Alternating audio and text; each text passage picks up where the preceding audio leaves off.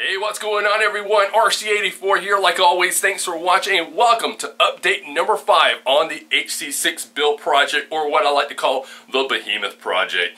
Now, I had some time over the week to work on the body shell, getting it prepped, ready for painting. I got it done and it looks sweet, my friends. I think you're really going to like the color scheme that I chose for the vehicle. Now, usually a lot of people tend to stick with the traditional military colors, you know, the green, the brown, the camouflage, the desert sand. I wanted to do something different because that's me. I like to be different. So I came up with a really cool color scheme uh, of, of gray and a black. And I think this really made the body pop out a lot more because there's a lot of detail in the body shell, on the cab, the bed, and uh, so I think with this light color that I did, it really makes all that detail pop out. So let's go ahead and take a look at the body shell and what I did, alright? So here it is, my friends, all painted up and done. The vehicle is 98% done. I still have to install the lights and the sound module that I want to put in it, but that's uh, further on in the build here. Uh, I really want to get it out, test it out, see how it's going to do. If I need to adjust any links or you know steering wise throttle, I want to you know see what the battery life is on it and all that stuff. But it just looks so great, my friends. Now this uh, the body has been painted in a primer gray, and I went back with some satin black and colored in a few things that I wanted to do. And after satin black I did a matte clear over it to really dull down the finish a little bit and make it like this truck has been uh, you know been you know been around for a while. But it turned out phenomenal uh, I can't take full credit for the paint job. My dad actually uh, painted the body if you guys know my dad's been helping me on day one on this build and he did a awesome job at laying down the paint and everything uh, there's no runs. Everything looks great. I'm really digging this color because, like I said, uh, with this lighter gray, it brought out a lot of detail in the body. Uh, so with the bed, the cab, the body lines, it really made this thing look so much sweeter.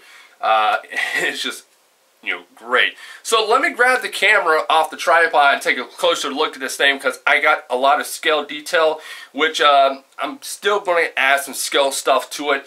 It's just a, right now I'm just kind of working on that. So down the road I'll be adding a lot more stuff to it. So let me grab the camera off the tripods.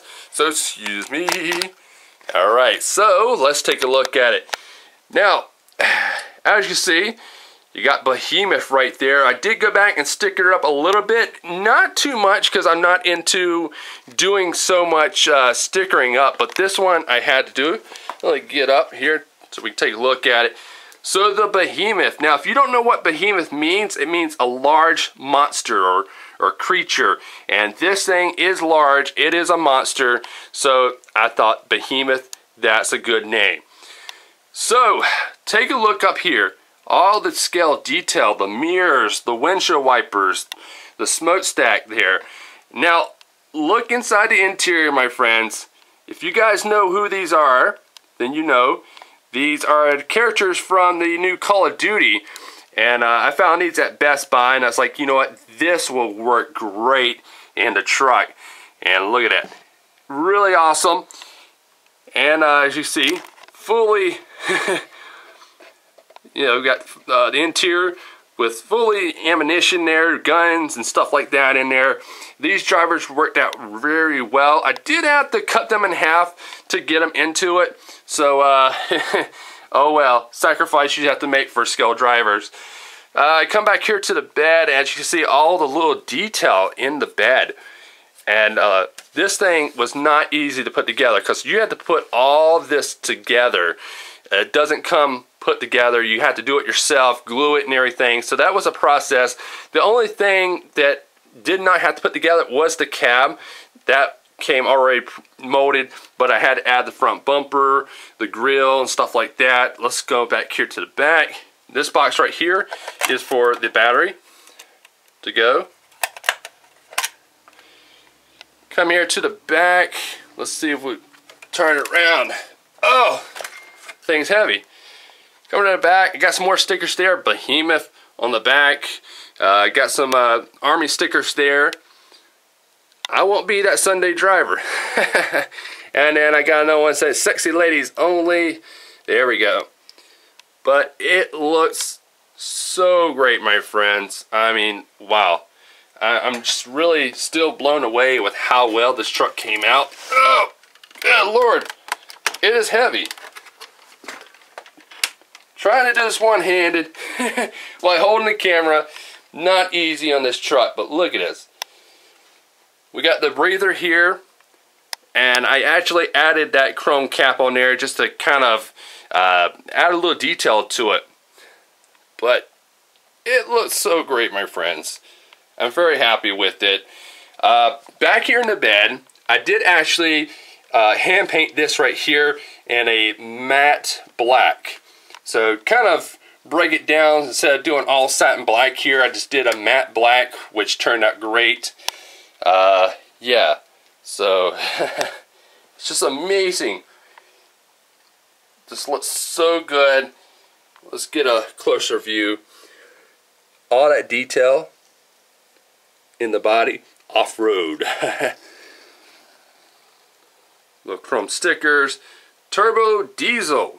Yeah that's what it is get a good another side view of the interior and the guys there. I think that's Soap from Call of Duty and the other guy I'm not exactly sure but he is cool looking. So yeah. So that is it my friends. Alright. So that is the HC6 build right now. It is turning out great. And uh, like I said, all I'm, all I'm lacking is in finishing installing the lights and the sound module that I got, which I'll be doing a video on that here very soon. Uh, the sound module, it's really cool. And uh, try to adapt it in the truck. I have to think of a few ways to actually do this to get it into the truck and have it functioning and working and all that stuff. So that's another thing that I have to think about.